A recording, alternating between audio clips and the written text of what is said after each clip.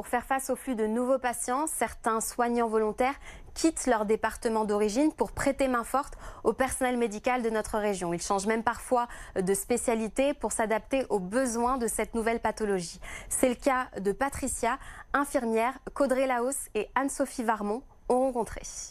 Bienvenue dans ma nouvelle maison pour une durée indéterminée. Un lit, quelques affaires et des fruits. Patricia n'a que le strict minimum pour se sentir bien.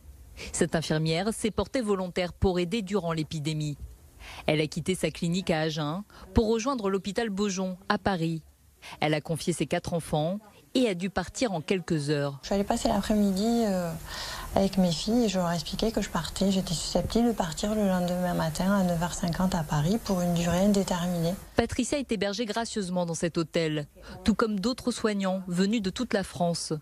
À quelques portes de la sienne se trouve d'ailleurs sa cousine, elle aussi infirmière à Agen. Elle se retrouve pour discuter.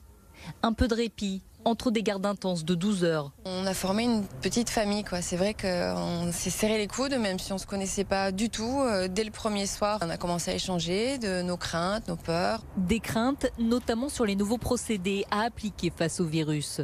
Patricia est normalement infirmière en salle de réveil.